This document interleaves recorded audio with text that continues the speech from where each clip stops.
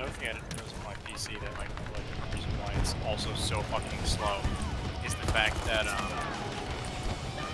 what do you call it? Uh the um I didn't know that motherboards have different uh speeds for LAN